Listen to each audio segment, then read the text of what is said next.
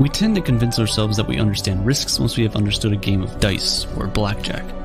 However, trying to approximate the risks in real life with the same methods used in a closed loop artificial game is simply oversimplification, a mistake that we commit daily. This, Taleb calls, is the ludic fallacy. We learn simple games and immediately conclude that the stock market works in the same way, even though one of these things lives in Mediocristan and the other lives in Extremistan. This false sense of understanding makes black swans that much more dangerous. There are other reasons why we are increasingly more vulnerable to black swans. Taleb said whereas in the past people might have been studying different kinds of literature and diving deep into a locally developed set of ideas, today, arguably the most read book is Harry Potter.